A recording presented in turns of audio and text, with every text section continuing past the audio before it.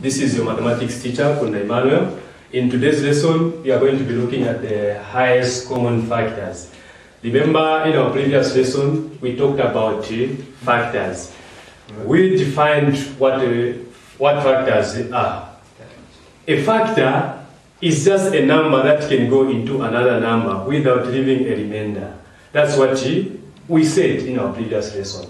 Now, in today's lesson, boys and girls, we are going to concentrate or to focus more on, on how to find the highest common factors or factor of the given numbers.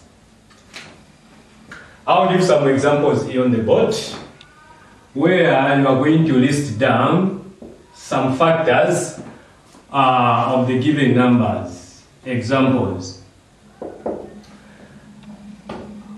I'll ask you to list down the factors of 6. I'll also ask you to list down the factors of 8 and also the factors of 12. What are factors of 6? Let's list down the numbers that can go into 6 without leaving any remainder. The first number is 1. 1 is always a factor of any number because one goes into another number without leaving a remainder. Without leaving a remainder. So one is always a factor of another number. We also have two is a factor of six. We have three also as a factor of six. We are done there. Six is also a factor of itself because it goes into itself one time. Let's list down the factors of 8. We have 1 as usual. We have 2 as factor of 8. We have also 4 as a factor of 8. Let's list down the factors of 12. 1 as usual. We have 2, it goes into 12 without leaving a remainder. We also have 3, it is a factor of 12 because it goes four times without leaving a remainder. We also have 6 as a factor of 12. Even the 12 is a factor on its own because it goes into itself one time without leaving a remainder. Boys and girls, what we have listed here, they are called factors. We have factors of 6, factors of 8, we also have factors of 12.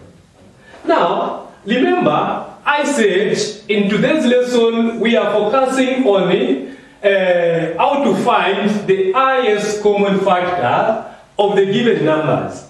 Now, when we are talking about the word highest common factor, what are we talking about? The word factor by now it's not a, uh, it's not a new word. We discussed it in our previous lesson. Like I said earlier on, a factor is the number that goes into another number without leaving a remainder. When we are talking about the common thing, the thing that is coming frequently, it means that's the common thing. Highest, the biggest one. So in this case, we need to list down the numbers which are common. The factors which are common in short. The factors which are common, if you look at the factors of 6, 8, and 12, which factors are common from 6, factors of 6, 8, and 12? You'd find that the common factors we have for the three numbers is 1, common factors we have here, common factors we have, we have 1, let's list them down, the common factors for factors of 8, 6, 8, and 12. We have 1, 1 is here, 1 is here, 1 is here. We also have 2 is here, 2 is here, 2 is here. So 2 is also the common factor of these numbers. Common factor of these numbers. And then we look at uh, these the other numbers. Um, we have 3, do we have 3 here? We don't have 3, but here we have 3.